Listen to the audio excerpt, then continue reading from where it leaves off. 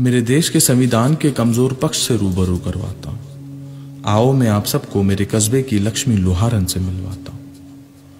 एक वक्त के खाने के बाद दूसरे वक्त का उस पर बोझ था और ज़िंदगी की जद्दोजहद संघर्ष उस पर रोज था। अधेड़ उम्र में वो हथियारों के रूप में अपना घर खींचती थी, गुप्ती, करछी, चाकू, कटार, तलवार सब बिना धार के बेचती थी। हथियार लेने वाले हर आदमी हर लड़के को मुँह पर खरी खोटी कह देती थी। चंद रुपयों की एवज में बिना दार का हथियार वो उन्हें दे देती थी। उसकी उदास सी आँखें मायूस से चेहरे की तरफ़ जब कभी मेरी नज़र जाती थी, मुझे उस पल महसूस होता था। मेरी साँसें भी बेहद रुक रुक के आती थी। एक रोज फुर्सत के लम्हे में मेरी नज़र उस पर जाती है। उस दिन की घटना मेरे दिल दिमाग में घर कर जाती है। कि उसके ठेले पर एक लड़की जब हथियार लेने आती है धार करके दूँ या बिना धार के? लक्ष्मी इसी सवाल पे अड़ जाती है। लड़की के जाने के बाद मैं तपाक से बोल पड़ा यह तो बहुत बड़ी नादानी है और लक्ष्मी, धार वाला हथियार बेचना तो पूरी तरह से गैर कानूनी है।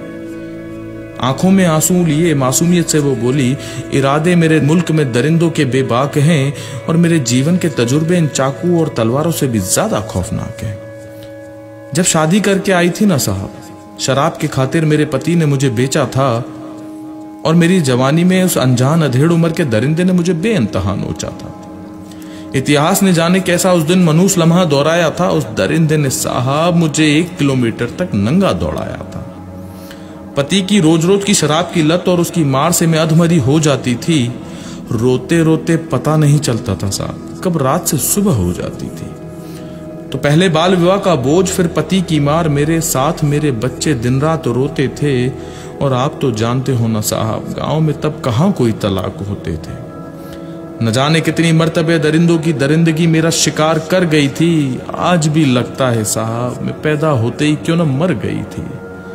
मैं अपनी आबरू तक न बचा सकी साहब। इसलिए मैंने अपने अंदर का जमीर मार दिया।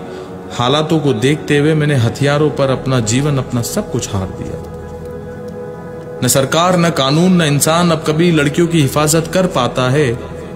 जब कोई नहीं आता बचाने आबरू लड़की की, तब तब लक्ष्मी का यह हथियार अपना फ़र्ज़ निभाता है।